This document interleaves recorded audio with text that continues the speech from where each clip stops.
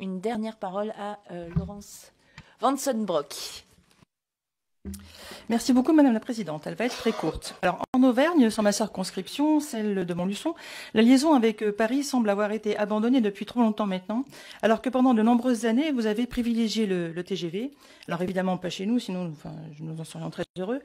Aussi, euh, pouvez-vous nous expliquer pourquoi avoir persisté dans cette euh, direction sur de si nombreuses années, alors que cela a eu pour effet d'endetter lourdement la SNCF, empêchant la maintenance des lignes du quotidien dont nos concitoyens sont privés? Merci.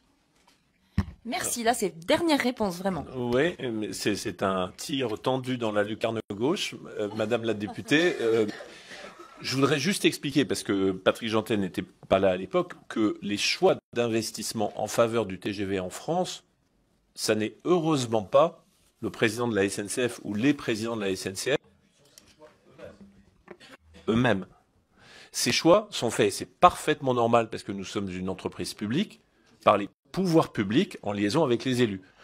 Donc la priorité au TGV qui a été celle, on va dire, de 1975 à 2005, et puis après les choses ont commencé à bouger, cette priorité a été une priorité politique assumée par les autorités politiques et mise en œuvre, et tant mieux, parce que si les entreprises publiques ne mettaient pas en œuvre les priorités politiques, où irait-on? Donc elle a été mise en œuvre par la SNCF sur impulsion politique.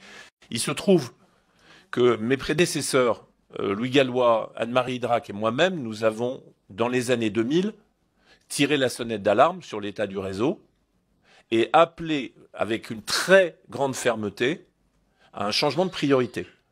Ce changement de priorité a mis du temps à venir, sans doute trop de temps, mais les gouvernements successifs y ont contribué, jusqu'à ce qu'aujourd'hui, il soit clair, je pense pour la, majorité des groupes politiques, peut-être la totalité, que la priorité absolue dans ce pays doit être au transport de la vie quotidienne et au réseau existant. Maintenant, euh, le retard qui a été pris ne peut pas se rattraper en quelques mois ou en quelques années. Patrick Jantet dit qu'il y a encore au moins une dizaine d'années de travail de modernisation.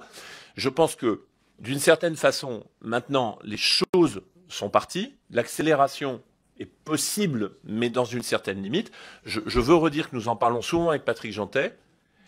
On n'est pas loin d'un seuil de travaux qui aurait des conséquences pour les voyageurs qui sont excessives.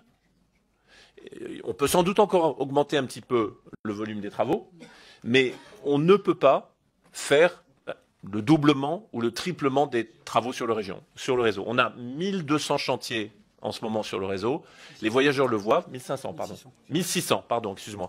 On a 1600 chantiers aujourd'hui sur le réseau. Les voyageurs le voient. Hein. Un voyageur de long parcours sur un intercité, il rencontre deux, trois, quatre chantiers.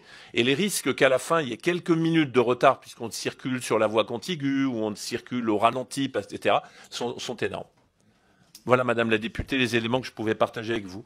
Est-ce que je peux me permettre de vous remercier, moi euh, euh, en notre nom à tous les deux, c'était vraiment un dialogue intéressant, un petit peu un grand oral, un petit peu un QCM euh, d'étudiants en médecine. Mais, mais, pour nous, c'est très précieux parce que la, la, façon dont vous posez les questions et, et, le contenu même de ces questions nous aide dans notre métier et on est toujours honoré de pouvoir rendre des comptes à la Commission. Merci et nous ne nous priverons pas de vous solliciter à nouveau. Il est vrai que ce sont des sujets un peu centraux dans notre commission et, euh, et nous avons des élus très attentifs à ce qui se passe sur leur territoire.